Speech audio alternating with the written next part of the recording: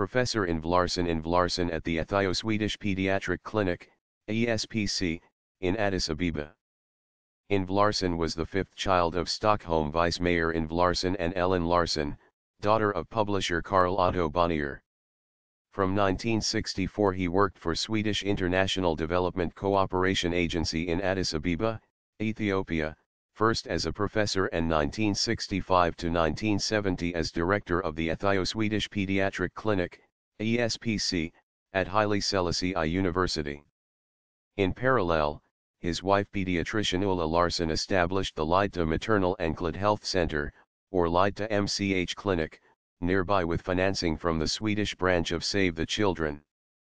Yngve Larsson was active in the International Society for Pediatric and Adolescent Diabetes, ISPAD, from its first year, and was a member of its advisory council in 1981 to 1984.